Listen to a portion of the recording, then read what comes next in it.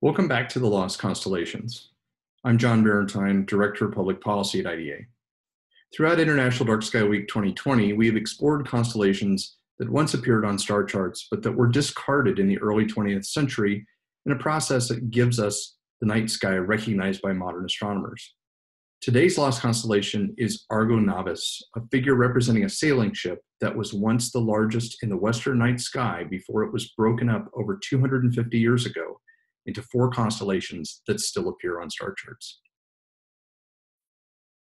Argo Navis dates to the ancient world when it was drawn after the Greek mythological story of Jason and the quest for the Golden Fleece. The figure is a large wooden hulled ship with masts and sails that was divided up during the 18th century into four constituent constellations that remain officially recognized today Carina, the keel, Puppis, the poop deck, Vela, the sails, and Pyxis, the mariner's compass. Even after its disassembly by Enlightenment astronomers, charts of the night sky generally showed it intact until around the turn of the 20th century. The tale of Jason and the Argonauts is one of the most famous Greek myths, and the story of the quest to obtain the Golden Fleece has been retold for countless generations. Jason was the son of Aeson, the rightful king of an ancient city called Iolcos.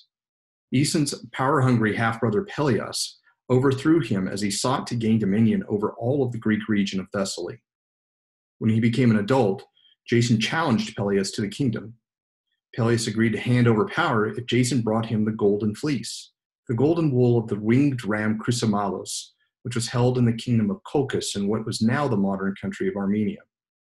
Jason was aided in his quest by the goddess Hera, who was really manipulating him for her own reasons, and the goddess of wisdom, Athena, to provide a vessel for Jason to use. Heroes from around the ancient world join Jason on his journey to Colchis. The ship's name is variously recorded as drawn from the name of its builder, Argos, a city of the same name near the site where Jason was said to have departed, and a Greek word meaning swift. The journey to Colchis was a long one, and the Argonauts faced many trials and tribulations on Aegean islands like Lemnos and Samothrace. Needless to say, Jason was successful in his quest for the fleece, and upon laying it at the feet of Pelias after a lengthy and harrowing return home, not unlike the one Odysseus faced a generation later. But there's a tragic postscript to the story.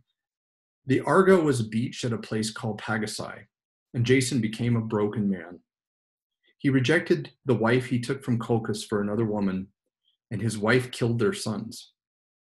Jason wandered the world before stumbling upon the rotting hulk of his former ship.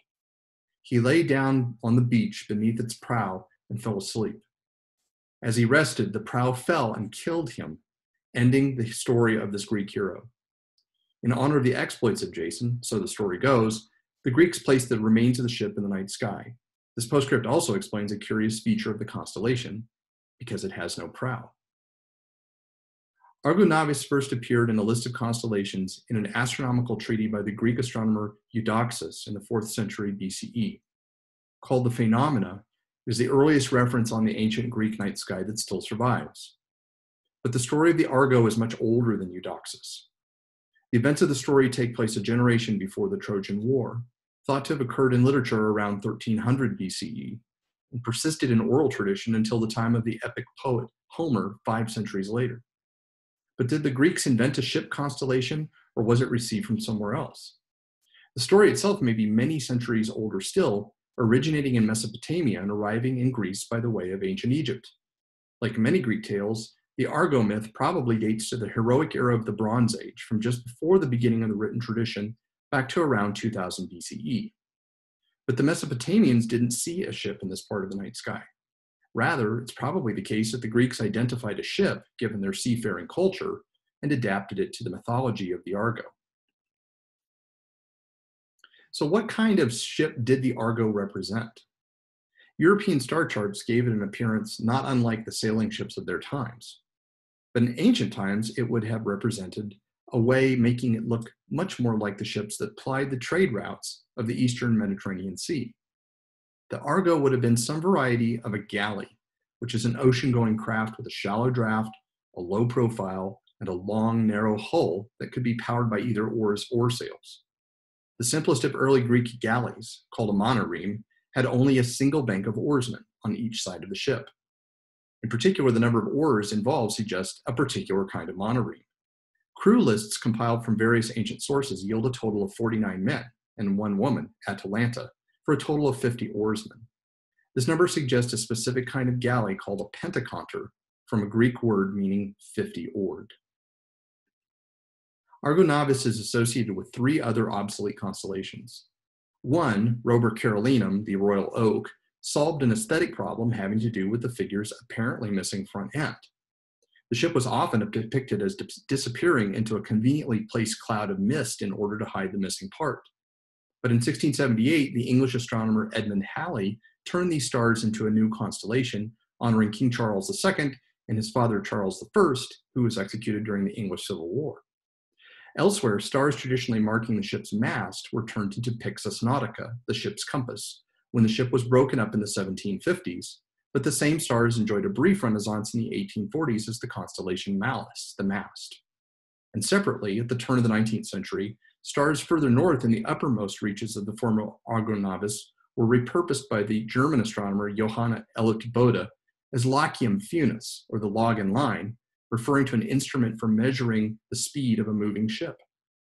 All of these constellations were long forgotten by the time the modern canon of constellations was decided in the 1920s. Argo Navis is best seen from the southern hemisphere, but parts of it can be located from about as far north as 40 degrees north latitude.